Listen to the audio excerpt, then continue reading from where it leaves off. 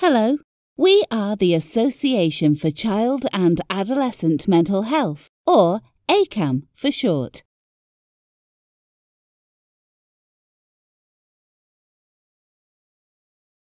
Uh, my name is uh, Sherman Imran. I'm a consultant psychiatrist, child and adolescent psychiatry. I work here actually for this trust and uh, developed, uh, organized this uh, program uh, with help from our presenters and with help from ACAMH.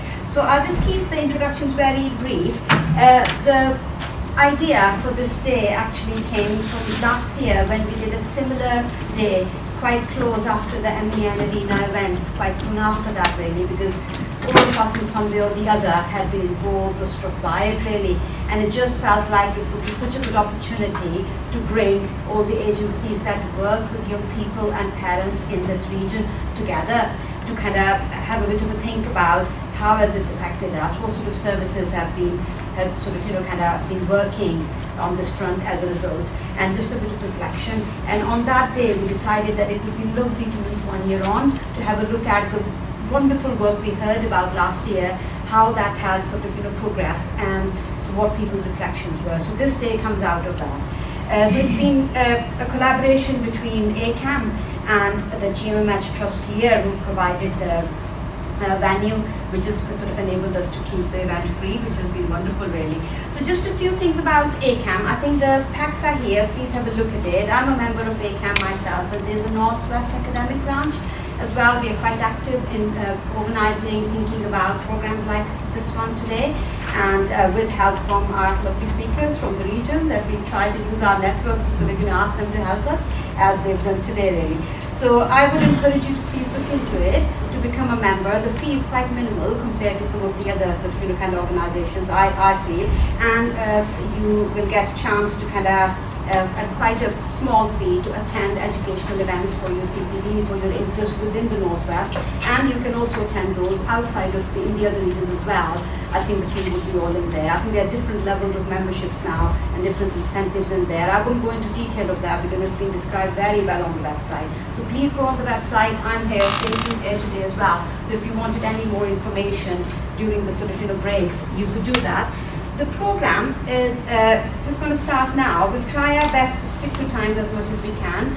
About 2.30, we'll get about 15 minute break for tea and coffee, and then we'll try to aim and finish by about 4. Okay, so three main presentations, and the first one is from 42nd Street, uh, which is a sort of, you know, kind of lovely project uh, in Manchester working with young people and we're providing psychological support and assessment and they've been quite actively involved uh, since the MEN Arena incident. So I've got Maryam Arbabi here uh, with uh, Nicole Warburton. Uh, thank you very much, Nicole, for coming in. So I will let them introduce themselves and they'll take us through their presentation. Thank you so very much. I'll help you to your chairs. Uh, we don't need it yet. Oh, no. Hi, my name is Maryam. Um, I'm a psychotherapist working at 42nd Street. I'm actually, um, my substantive post is at South Manchester CAMHS, but I've been seconded to 42nd Street for a year.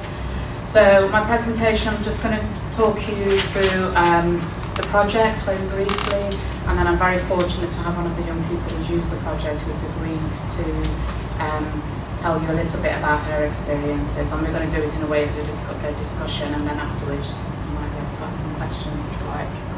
Um, so um, the project is, uh, was funded for one year from 2018 to 2019, although it started a little bit earlier. Um, I think they started looking at um, offering some therapeutic support around October time, but I came in post in January 2018. Uh, it's funded by the Big Lottery and Co-op Foundation, um, and it's two-pronged really. One, um, one aspect of it was just generally offering therapeutic services to any young person who's been affected by the Manchester Arena attack. And the idea of that was that they needn't have necessarily been there, if they've been affected in any way.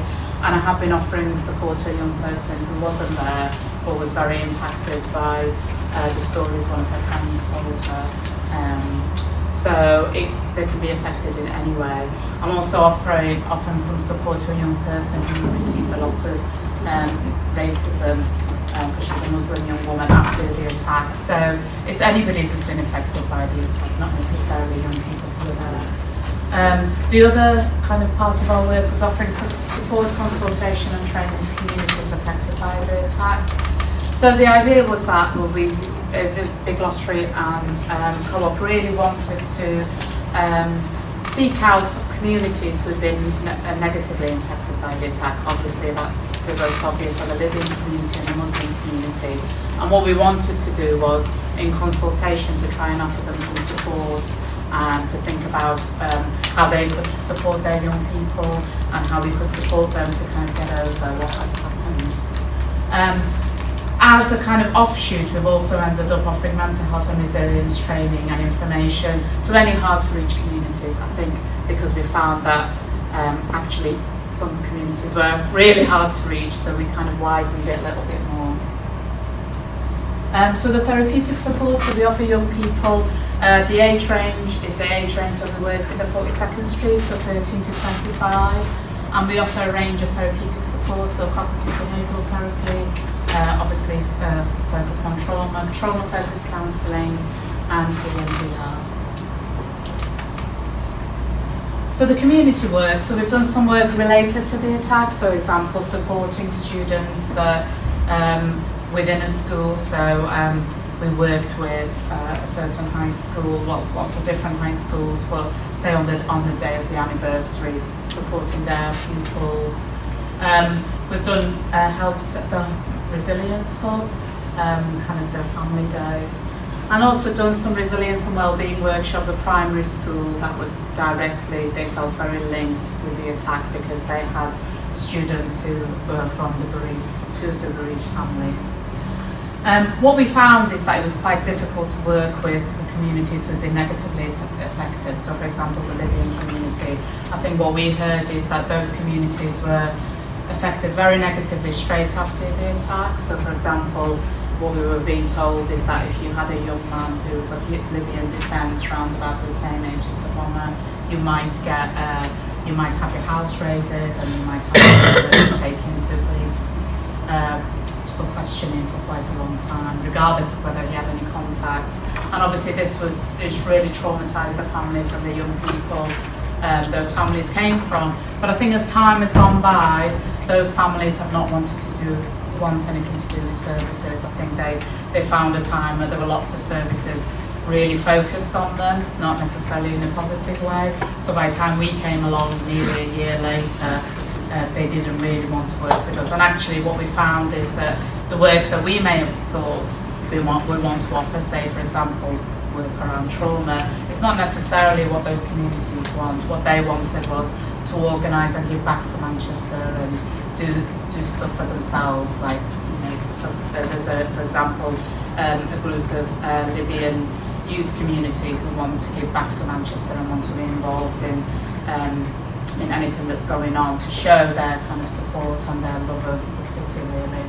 So I think what we ended up doing is to kind of widening our reach to look at what uh, to more hard to reach communities. So we've done things like well well-being and resilience. We've kept that kind of resilience idea uh, for parents of children with special needs in Newton Heath, uh, doing some work with vulnerable young people at Bury College and um, doing things within um, the communities, the Muslim community, but maybe not necessarily calling it like a trauma workshop or linking it to the MEN, but just doing stuff around well-being and resilience because we felt like that that would that would be more of a way in to kind of get discussions going about what um, what communities might need. So just some very basic, it's a very small project, it's me and a few of my colleagues who offer the, the other range of therapeutic services. So uh, as you see, the ethnicity, as you would expect, is mainly white British uh, area. Um, this project is different to the other projects at 42nd Street because we are GM wide. In terms of other uh, other projects that we work with, 42nd Street is very related to the areas that we work with. For this project, it was GM wide, so as long as young people could get to us, uh, we would see them. In terms of age breakdown, as you can see, the kind of 13 to 15 age group are prevalent, are probably the most. Now, in terms of the, uh, the therapeutic interventions, CBT and the, the trauma counselling have been the, the things that young people have chosen most. So some learning from the project. Um, young people liked being offered a choice in the therapeutic support, so what we do is we carried out an assessment for young people and we talk through uh, that all of these supports are trying to help them with the trauma that's happened, trying to help them process what happened and to be able to get on with their life and have this, this thing not impact on their everyday life, but that there's different types of uh, therapeutic services that work for young people. Um, some of the young people who've chosen the more kind of counselling uh, aspect have been young people who perhaps have had other things going on. So yes, they've had this uh, massive trauma of being impacted by the attack, but they may have had other things going on, maybe, maybe other traumas or other stresses that were around for them before that happened. Therapy times have ranged from six to eight months. Um, obviously the time of the anniversary was very difficult. I know very lots of young people needed support around that time. I thought this has not always been weekly, so I guess for some therapeutic, uh, so uh, you know, we might offer a certain number of therapies, uh, therapy weeks weekly, but then you might find a young person's getting better and wants to kind of try out uh, how things have been, so you might not see a young person for two or three weeks. The learning from community works, as I was saying, the community is most affected negatively, so the Libyan community do not necessarily want trauma intervention. I mean, it was never our intention to go and tell them what we thought they needed. I think any work that we wanted to do was going to be co-created, but I think it's we've kind of got the message that really what we perhaps might think they might need is not what they they would want. Um, Obviously, we've found that other communities who are hard to reach do benefit from support around mental health and resilience, and there's lots of other traumas going around in different communities that, you know, that need kind of some support with. Some quotes that we got from young people. Uh, really improved since coming to 42nd Street. I always feel heard by my counsellor. I believe she's helped me through hard and times and difficulty. My mental health has definitely improved. 42nd Street stay by our sides while we found the solutions to our problems. Had an image of a medical environment and being in a white room with someone judging every word I say, but 42nd Street is a relaxed and safe environment. I was given clear explanation of the process. So that's just some of the things, obviously, you know, qualitative data is just really important and just really important to hear the voices of young people.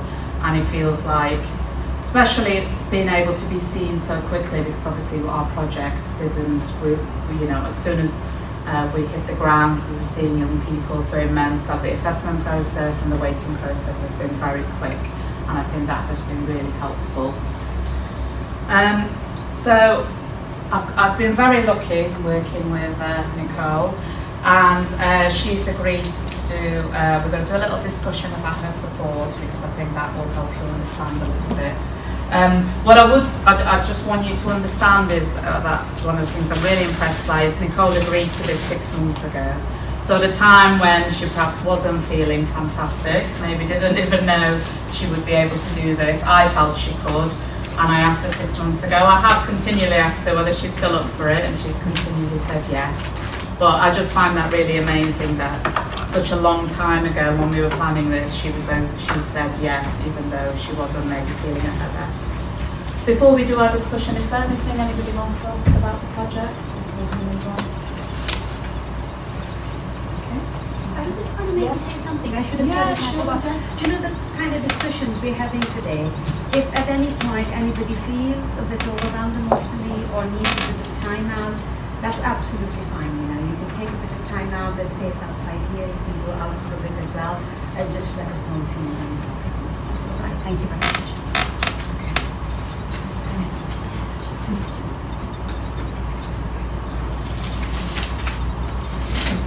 Any questions? so,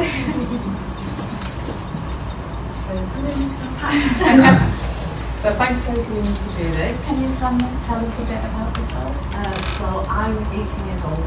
I like dancing, singing, acting, like anything to do with performing really.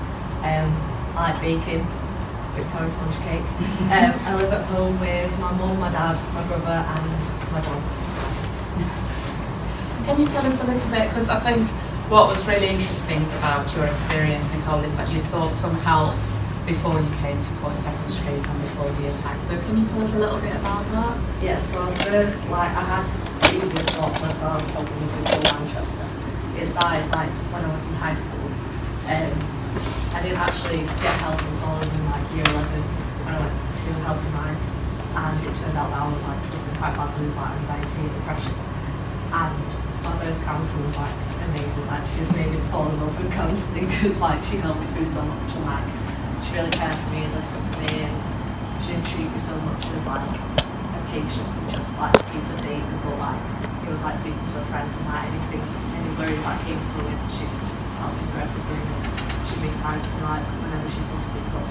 Um, and then I changed counsellors to a different counsellor who unfortunately wasn't as good with me. Um, they kind of treated me more as data and ticking boxes and like they'd be sat and I'd be speaking and they'd like doodling things and just not really paying attention to what I had to say. Like when I was speaking about something, obviously at that point I was doing CBT, so I'd try and say something and maybe it was a bit off topic to what I should have been focusing on, so we wouldn't really go with what my other problems was. They was just trying to focus on one thing.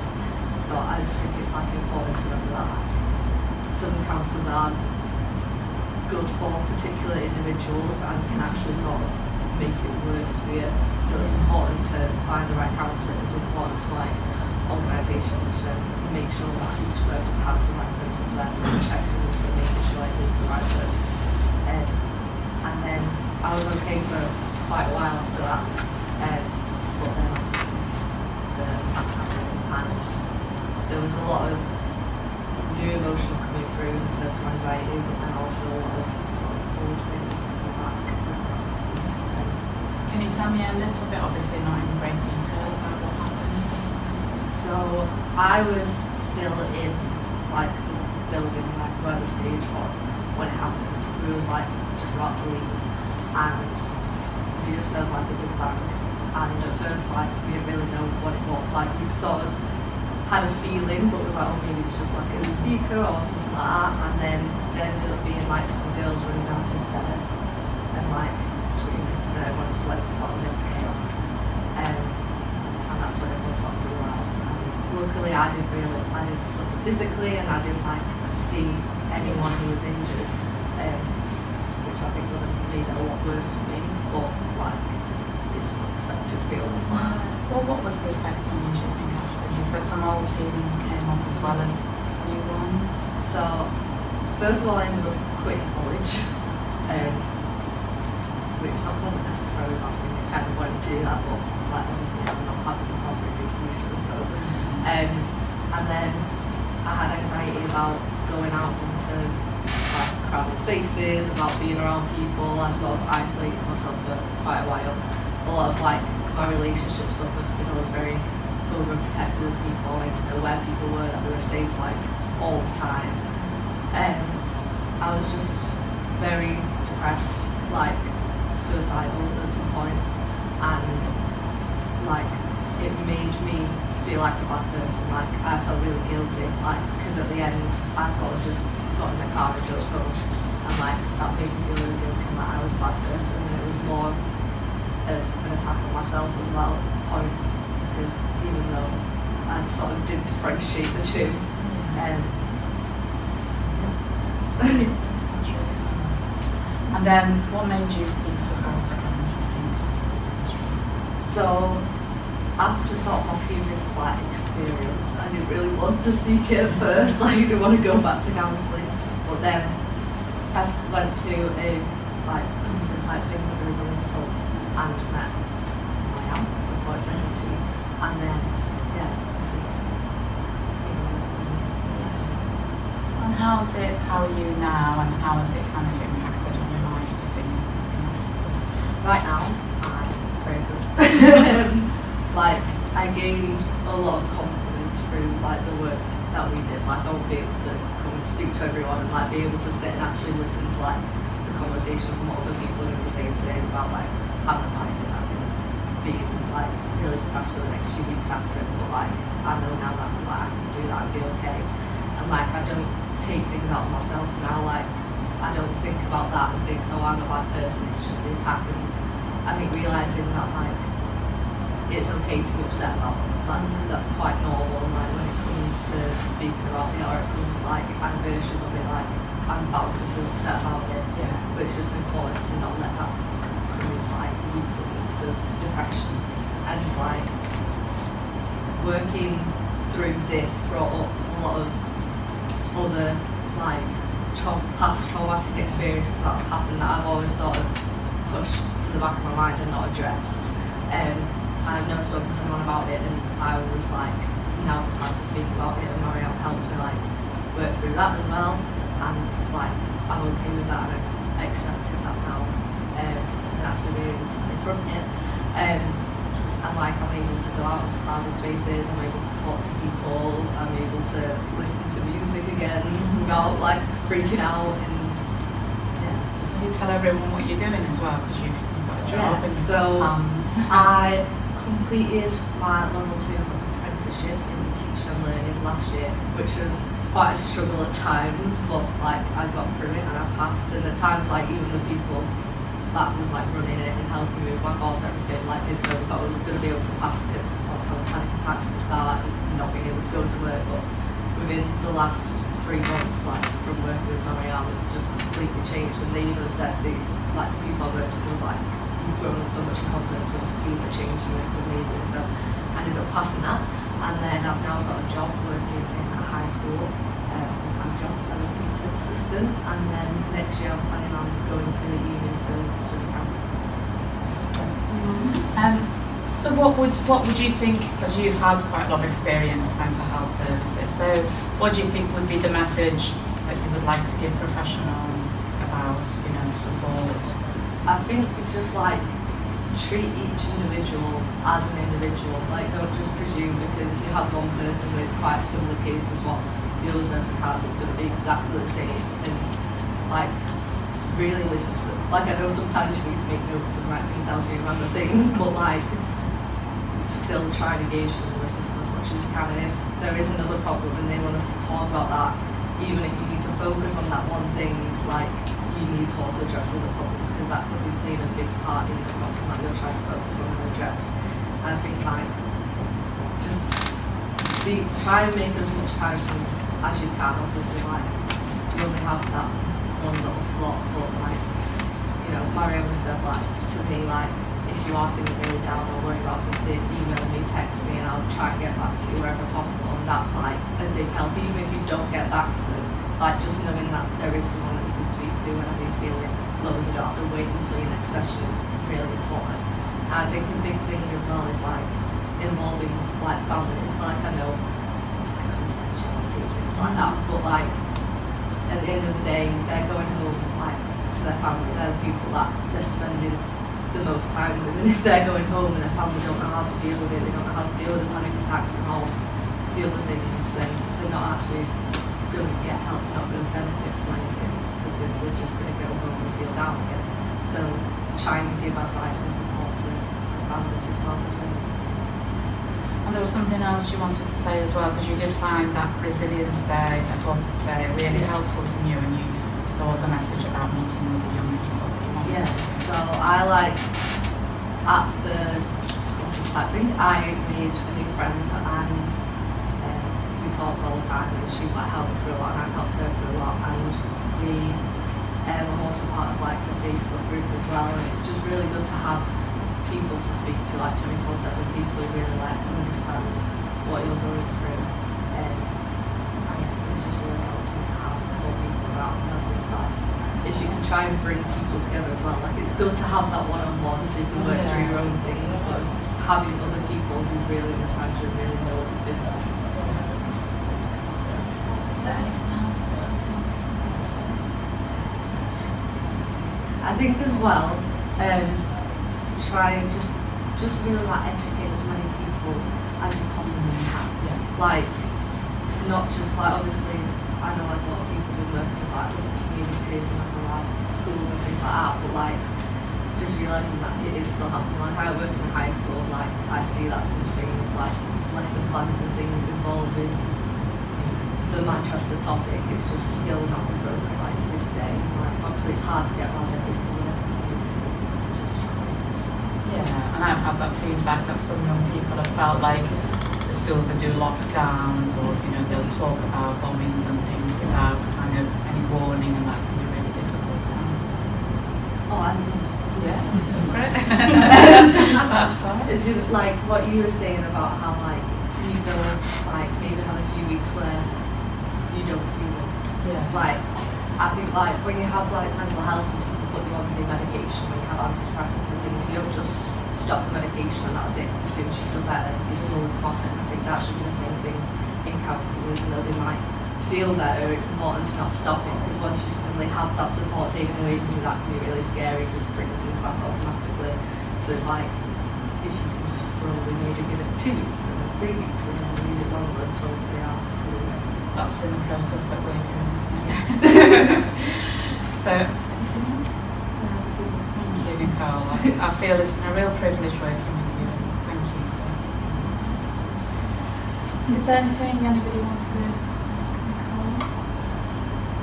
Yeah, I just question if that's okay. Thank you so much, firstly, for coming. And like you said, it's it's quite intimidating standing in front of professionals and, and sports. I really appreciate that.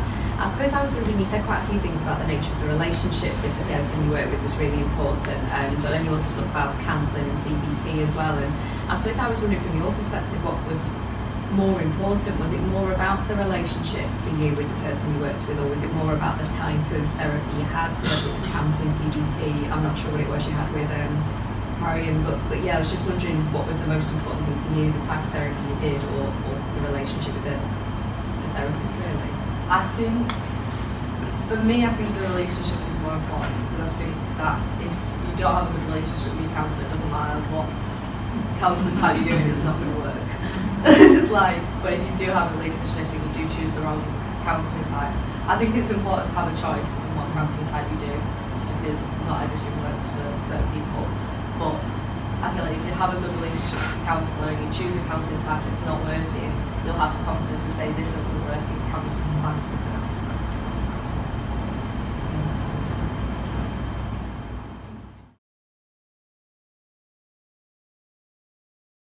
To be part of the advancement of child and adolescent mental health, visit www.acamh.org.